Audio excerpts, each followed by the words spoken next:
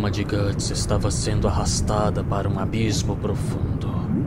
O que está acontecendo? Estou sendo levado. Ele olhou para trás e viu um espírito se materializando. Era Shirk.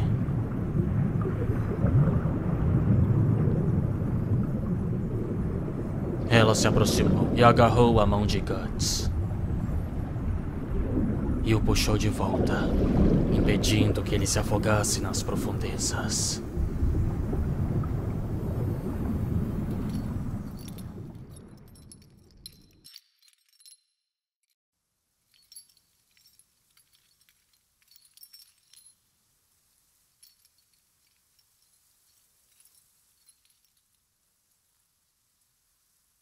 O que foi aquilo? Guts se pergunta ao despertar, preso em uma cela.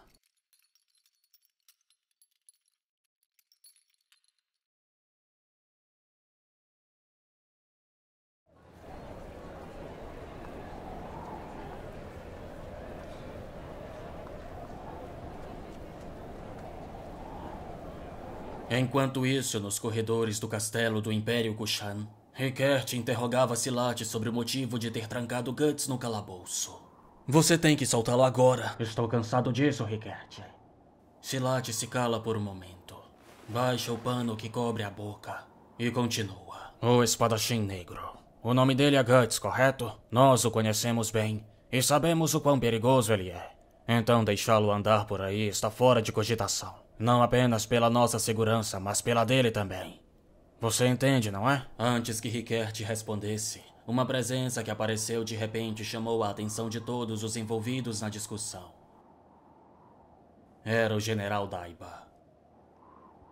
Jovem mestre, Rickert, venham comigo. O velho os guiou até o quarto onde a tripulação do navio estava reunida.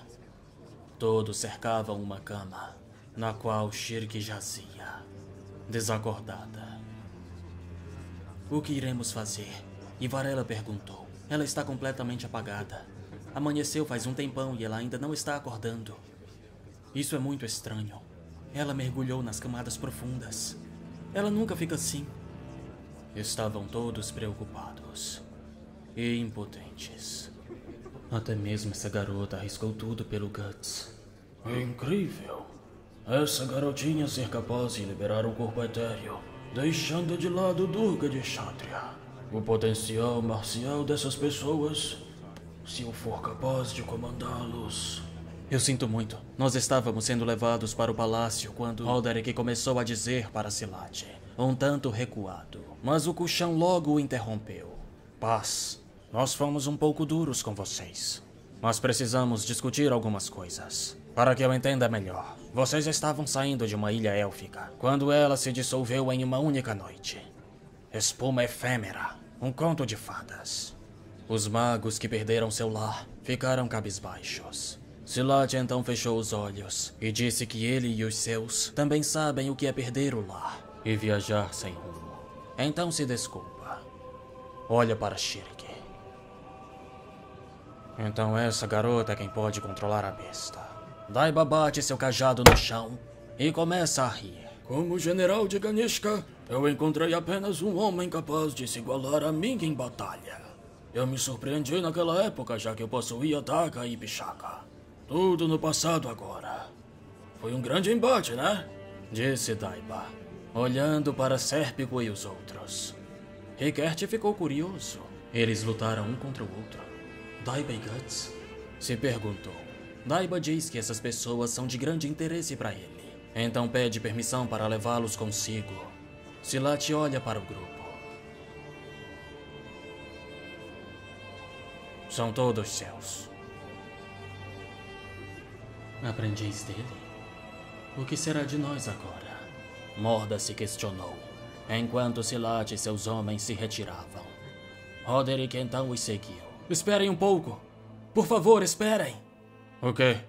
Se você tem negócios a tratar conosco, mande um emissário. Estou agradecido que vocês nos trataram bem e garantiram nossa segurança, mas o que você quis dizer com aquele são todos seus? Parece que você ainda não entende.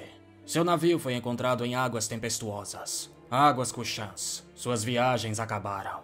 Vocês agora são refugiados. O costume determina que você agora servirá em nosso exército. Isso é tudo. Correto, jovem mestre. E não adianta fazer cara feia.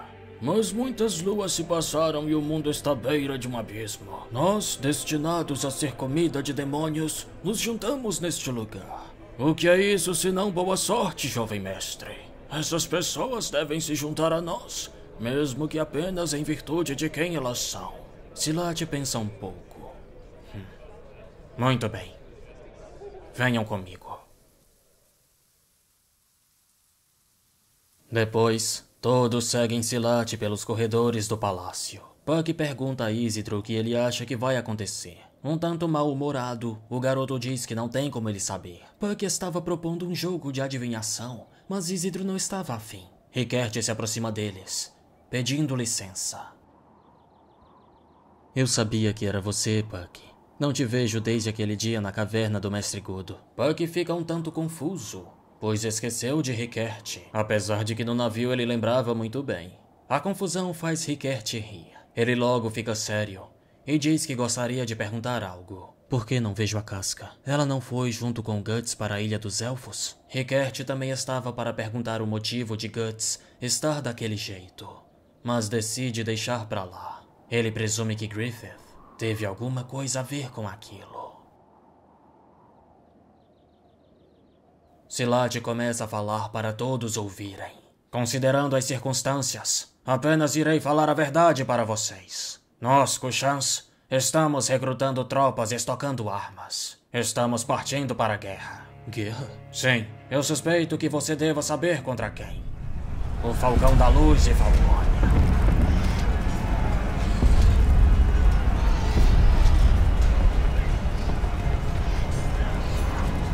O Falcão tem o poder de mudar o mundo, até o íntimo de seus fundamentos e princípios.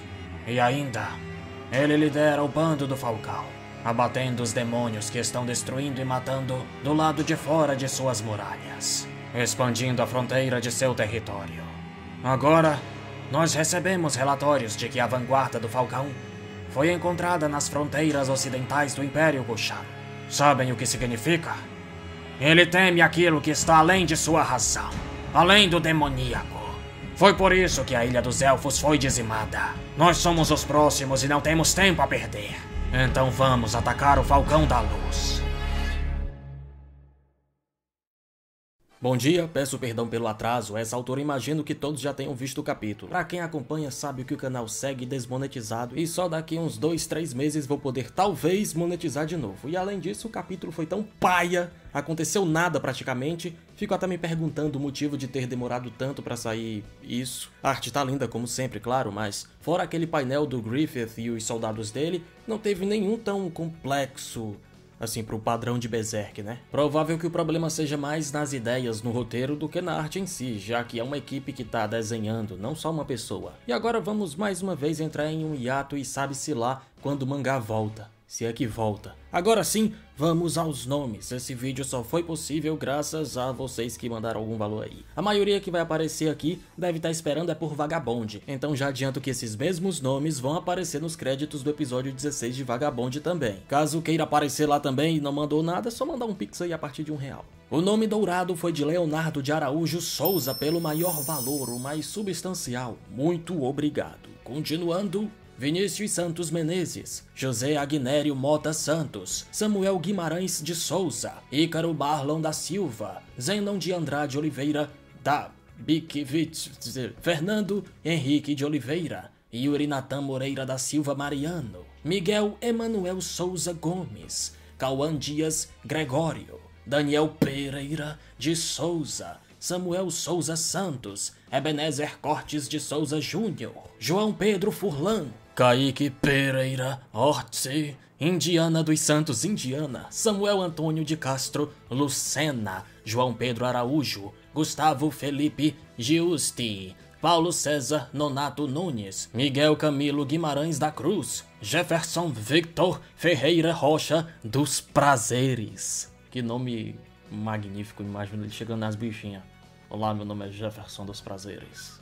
Diego Nascimento Santos, Guilherme Moselli, Tiago Henrique Pereira, Pedro Vinícius de Oliveira Andrade, Kaique Oliveira da Silva, Gilmar Silvério, Paulo Henrique Nestor, Rafael Atendorf B. Nord, Ryan Henrique Prates Santos Miranda, José Nildo da Costa Neto, Ícaro Yuri Alves Saraiva, Dário Felipe Lima Machado, Wallace Barbosa, gritando aí, Wallace Barbosa Gonçalves, Carlos André Bezerra da Silva, Evadson Freire de Souza, Lucas Gabriel Caetano Astolfo, David ou Davi Maxwell Silva de Melo, José Dutra de Oliveira Júnior, Ângelo Antônio Silva Pereira, Victor Andrés Calderon Creveralo, Abraão Roa, tá João Vitor Nogueira, Juliano Santiago Silva, Carlos Eduardo da Silva Machado,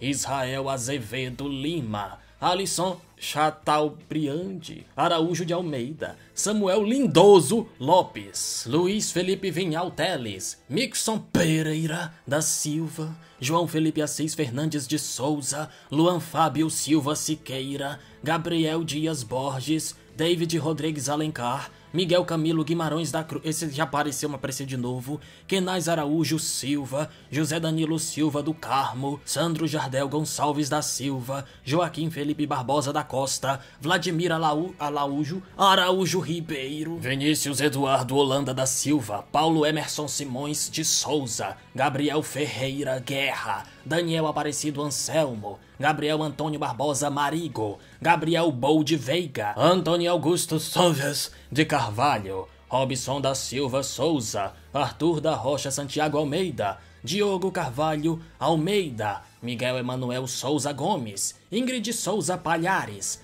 Brian Cauê Medeiros Silva e acabou. O Rodrigo Caio? Acabou não, agora acabou. Obrigado e até a próxima. Vagabonde vai, vai vir esse mês. Vai vir. Um episódio de Vagabonde.